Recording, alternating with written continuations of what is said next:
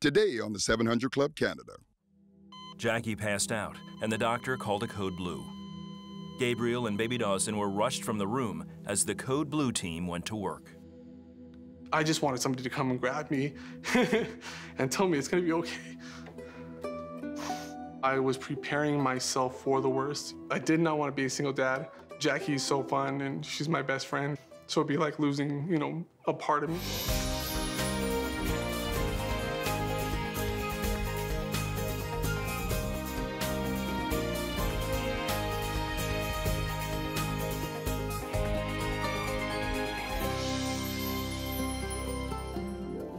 The 700 Club Canada. I'm Lorie Hartshorn. And I'm Brian Warren. Thank you for joining us today. Let me ask you a question. What keeps you up at night?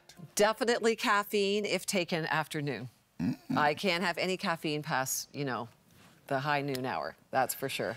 You know, email, texts, texts, and just looking at uh, my schedule, I could actually lose a lot of, of valuable sleep yeah. if I do that right before I get ready to go yeah. to bed. And there's a lot of research in this study that says don't do that, Brian. Oh, I know. Right? I know. I know. No reading of the email. No, I know. Stress and busyness and thinking about the next day schedule can just keep yeah. you up at night, for sure. It can stretch it. According yeah. to Stats Canada, poor sleep quality is prevalent among Canadian adults. In fact, one out of every three adults is not sleeping enough for optimal physical and mental health. Wow. A lack of sleep can result in increased risk of new and advanced respiratory diseases, and it also can affect body weight. Ooh.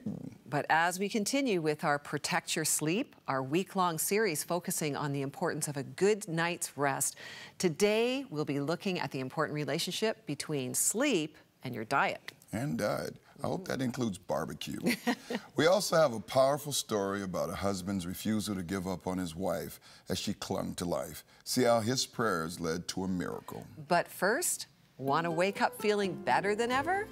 Then take a look at this. Hmm.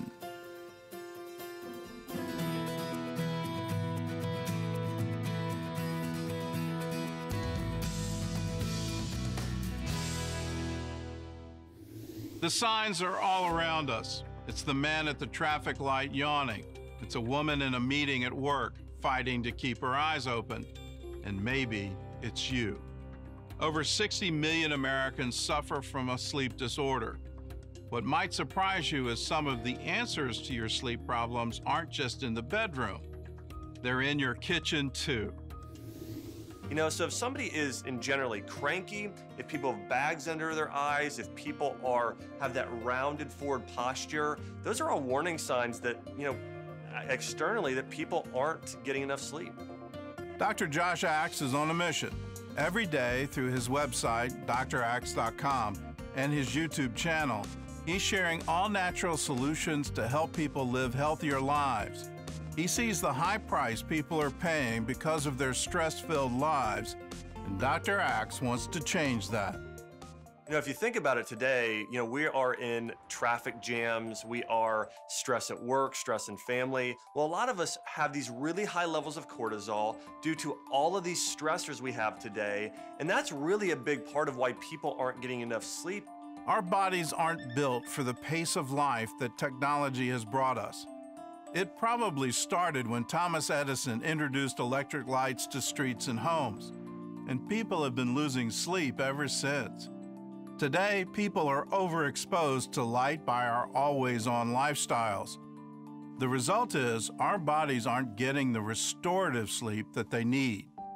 People had candlelight, that's a natural orange light that your brain doesn't react to as well and you get sleepy. You know, our ancestors, they would go to bed, an hour or two after the sun went down and wake up at sunrise, so they got plenty of sleep. We're designed to work best when given enough time to rest and restore. So when you're sleeping and your body isn't having to process food and be using energy to think and all these other interactions within your body, it is the time where your body is best able to repair, recover, and actually heal itself. You can give yourself a head start to a good night's sleep. Surprisingly, it begins with overhauling your kitchen. Take some time to get rid of all the foods that are draining you of your sleep and replace them with foods that will charge up your life. The big things we want to stay away from in terms of food. You want to stay away from sugar, refined grains, artificial sweeteners, hydrogenated oils, and any packaged processed foods. Not only will these foods rob you of sleep, they've also been linked to chronic illnesses like heart disease, high blood pressure, diabetes, and cancer. So if it comes in a package and has a list of ingredients a mile long, stay away. Here are foods that you want to add to your shopping list. So number one, herbs. Number two, we need more vegetables. Number three, we need more fruit, specifically berries. Berries are contain antioxidants and certain types of carbohydrates that can create a healthy night's sleep. Number four, uh, nuts and seeds. Number five is going to be whole sprouted ancient grains like rice, oats, and quinoa. Start adding healthy fats to your shopping cart. These fats are another important part of staying healthy and getting a good night's sleep. So healthy fats can include avocados, coconut, wild-caught salmon, nuts and seeds like walnuts, chia, and flax seeds. These healthy fat foods are great for regulating hormones in your body. Make sure you also add spices to your shopping cart. Cooking with spices is a simple way to stay healthy. Turmeric is fantastic. In fact, there are more clinical and medical studies on turmeric proving its overall health benefits for reducing inflammation and supporting the brain and the gut than any other herb out there today. So turmeric is very high on this list. And then ginger. You know, ginger is anti-inflammatory and really one of the ultimate herbs for supporting your digestive system. You might have heard that chicken soup is good for the soul. It's also great for your health.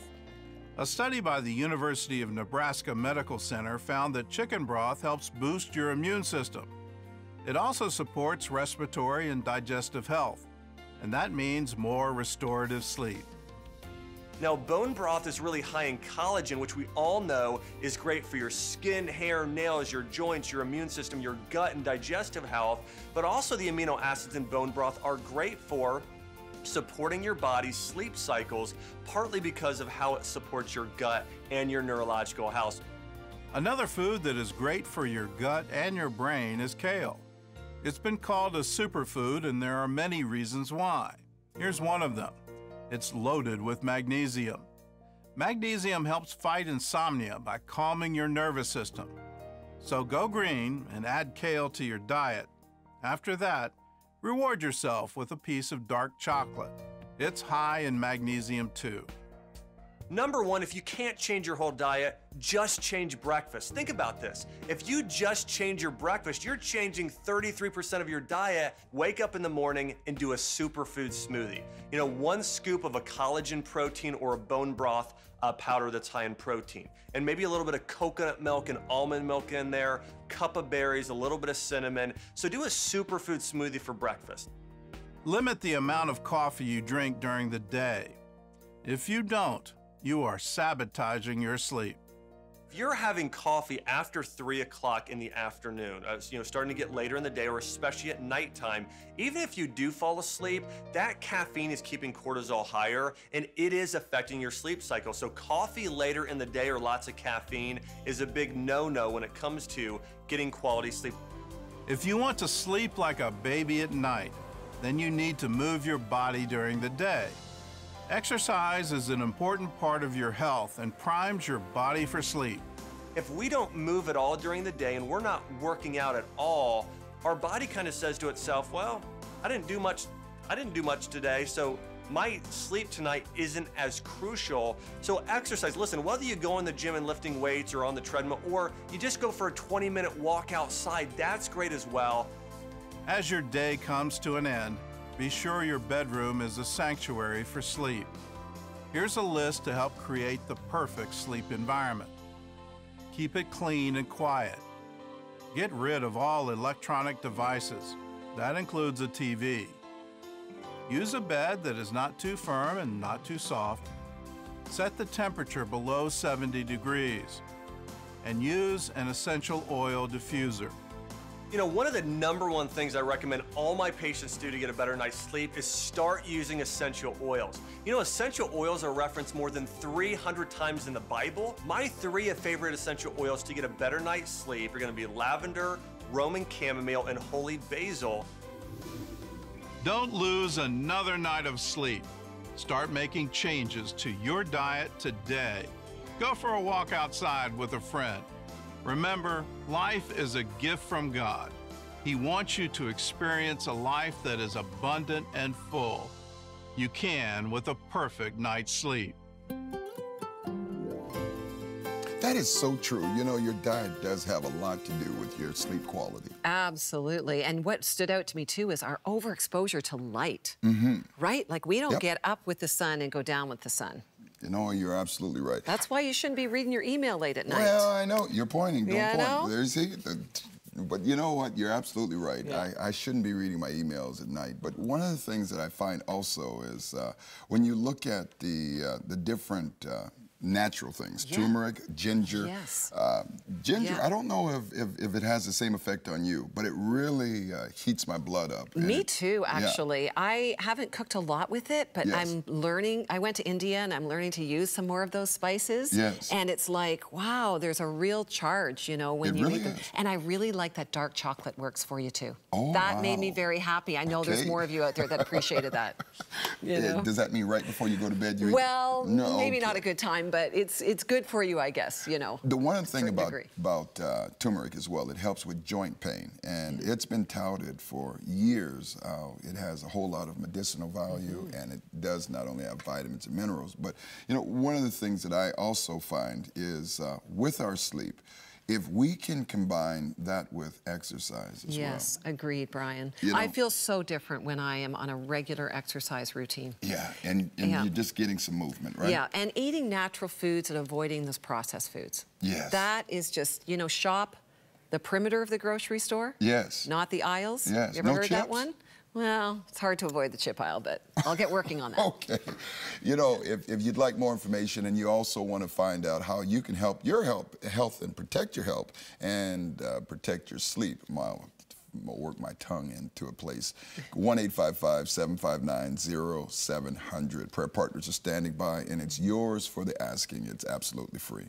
And up next, with his wife beginning to die, Dawson pleads for a miracle. It's sobering.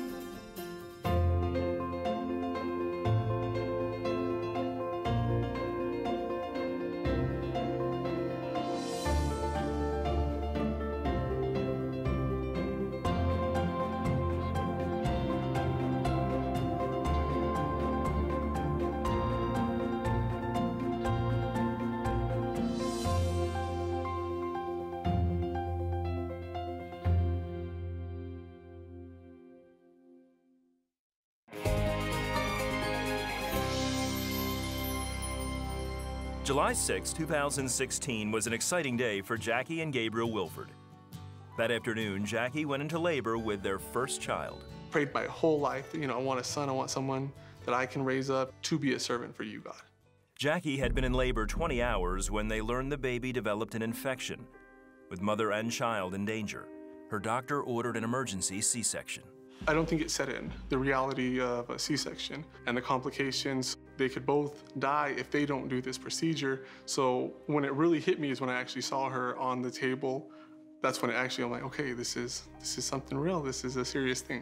They started the surgery, but the pain blockers hadn't taken effect. It was the most painful thing I've ever went through. And so I, I did, I, I felt like I was dying. It was it was horrible. I can feel every single thing. I could feel the, the doctor's hands press on my stomach and then the mo- it was just really painful. The doctor delivered a healthy baby boy, but by then, Jackie had gone into shock. I kept sh- uncontrollably shaking and I could I had to keep my hands to my like body cuz I felt like my body was just shutting down. I couldn't I couldn't speak at one point. I knew it was serious, but I didn't want to let my mind start to to think about it. And then, you know, if I'm panicking, well, then there's no way that I can be there for my kid or my wife. Gabriel texted family in the waiting area to pray for Jackie. I remember the doctor saying, "Okay, well, we're going to put you to sleep right now." And then at that time, I was like praying like, "Lord, please, please, please, please like help me, help my son, and make sure we come out healthy." The doctor stabilized Jackie and moved her to a recovery room. Gabriel thought the danger was past. It was. It was a sigh of relief.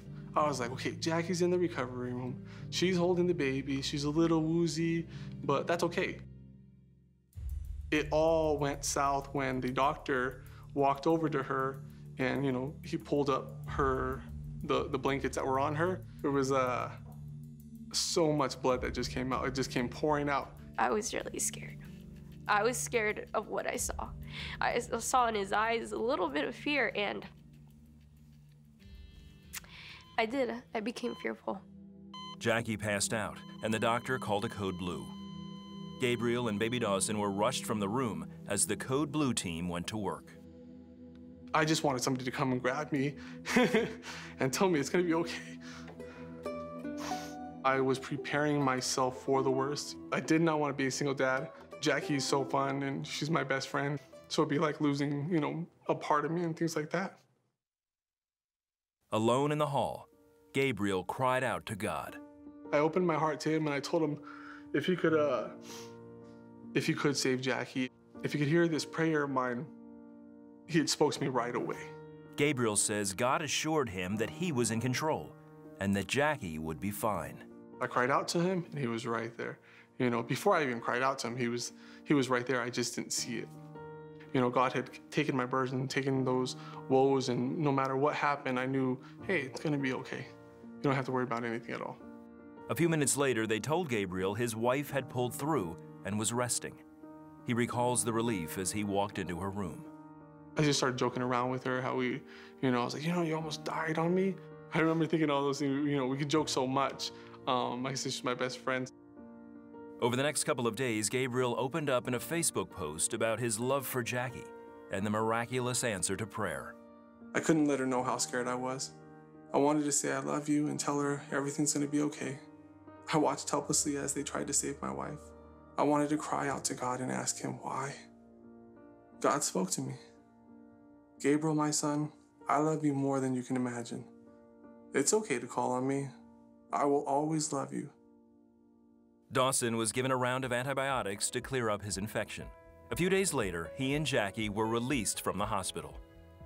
Both Jackie and Gabriel believe that prayer saved her life that day. I really believe that God heard our prayers, that maybe it was time for me to go. Maybe, maybe my time here on earth was done. Like there was no more for me and God heard someone's voice saying that I have a purpose. Like I have a reason to be here. God answered prayers because I I do I, I really thought I was dying. A lot of people I don't I don't think they they understand the power of prayer. It's your one connection to God that he actually hears your voice, the the uh, maker of the world. You know, they can actually hear you. Prayer is power, no matter in what circumstance, no matter how amazing your circumstances are. It is powerful. It is the most powerful tool we have. And when we finally recognize how powerful it is, we can move mountains. Baby Dawson, when you see that uh, God brought them through, you recognize what it means in Romans 8 23, 28, excuse me, and says, And we know that all things work together for the good of them that love God and are called according to his purpose. You know, I've been in those situations before, and it's not a, it's not a fun time. And it's, uh, it's really a very vulnerable moment. You might be in that situation right now. I, I love how Gabriel says, God assured him that he was there in control and that Jackie would be fine. I feel like that's for you today as well. That you need to know that it's going to be okay. God is going to work it out. I want you to call the number on the screen. You might be in a hospital, you might be right now in legal problems, but uh, believe that God can work it out. I want to give you a, a verse. that says in Romans 8, in 16, it says, The Spirit Himself bears witness with our spirit that we are children of God, and He helps us in our weakness. We don't know what we ought to pray, but the Spirit intercedes for us. And I believe that uh, that intercession, one standing before a greater on behalf of a lesser, is taking place. I want to give you the prayer fuel, some of the same verses that we are able to give to you. They're available to you at your fingertips. 1 855 759 0700. Prayer partners are there for you. Request this answered prayer. But now let's, let's agree. Father, come on, stretch out your hands. Father, I thank you that the Holy Spirit helps us in our weakness. And I know that this situation is serious, but now we join and blend faith together and we ask you that you would open a way that cannot be shut. Ah, there it is. You got it. And we thank you for shutting doors that no man could open. Father, it is so, and I receive it on their behalf now in Jesus' name. Amen. If that's you, say, Pastor B, I received it. 1 855 759 0700. Prayer partners there for you. Well, coming up, Dr. Merry Lin has some very encouraging words just for you. Just started with the usual symptoms of flu. And once your blood is half overtaken with a parasite, naturally speaking, there's no coming back from that. He has maybe two or three hours left to live. I'm just praying and pull myself together. And I remember in that moment just thinking, oh my goodness, God is doing something here. God's doing something. Miraculous blessings available now.